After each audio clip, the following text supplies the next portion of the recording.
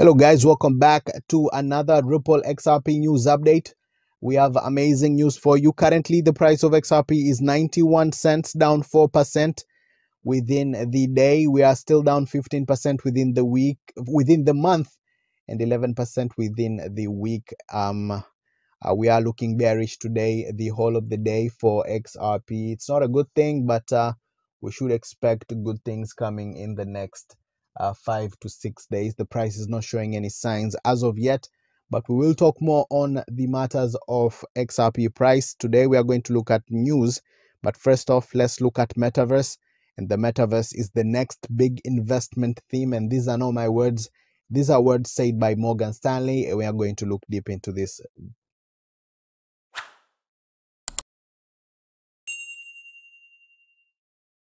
Now, investment bank Morgan Stanley has actually said that the metaverse is now the next big investment theme.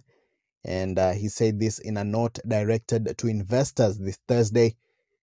As you know, strategists from the bank believe this alternate conception of reality is amazing important interest for companies like Meta and Microsoft which are already trying to grasp the concept. And of course, some of these companies are already capitalizing on it. As you all know, Meta is full throttle with this vision. And uh, Morgan Stanley, which is one of the biggest investment banks in the world, has announced it considers the metaverse the next big investment scheme.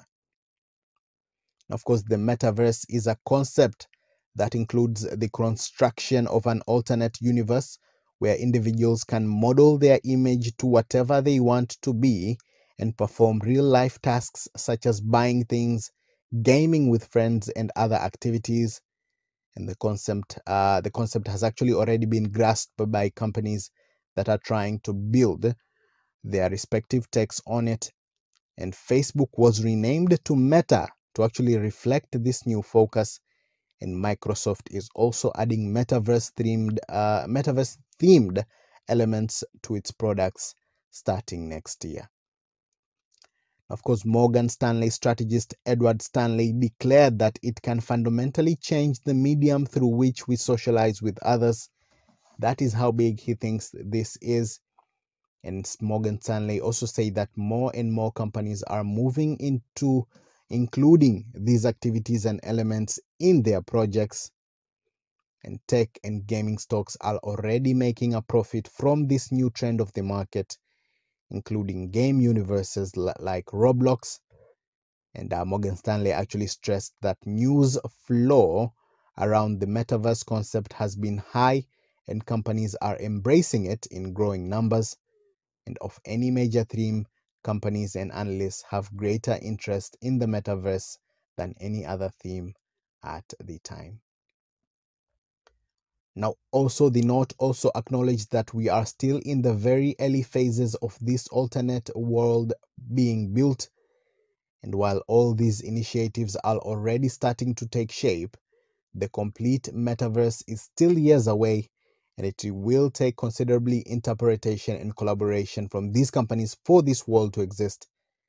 As you all know, this will be possible when users can move their experiences and avatars from one platform to another with no problem.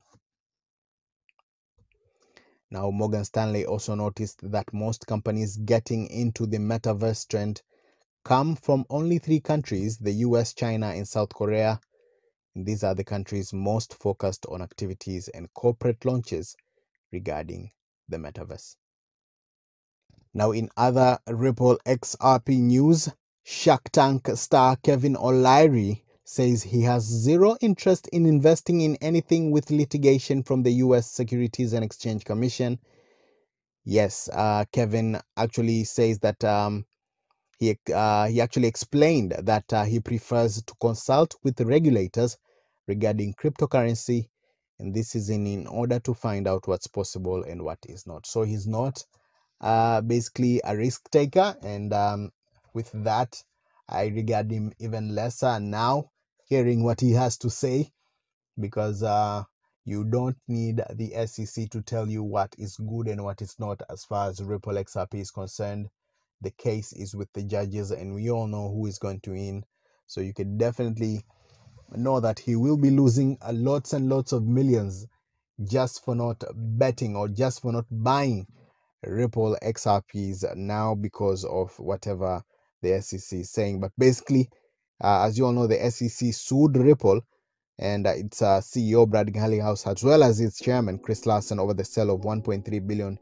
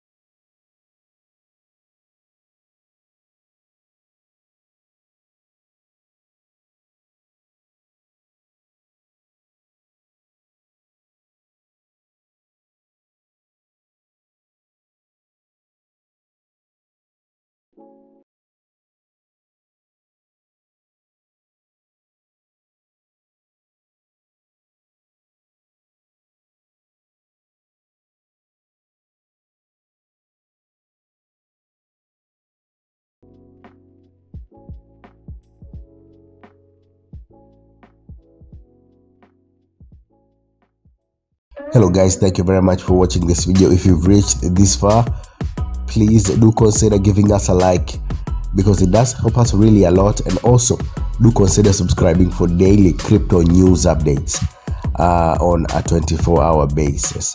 Thank you very much for watching. Bye bye